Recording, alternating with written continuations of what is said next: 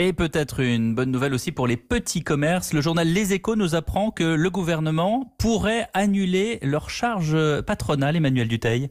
Oui, hein, ce sont les entreprises de moins de 10 salariés qui ont été obligées de baisser le rideau à cause du confinement qui vont être concernées par ces annulations de charges. À Bercy, on confirme travailler sur un tel dispositif.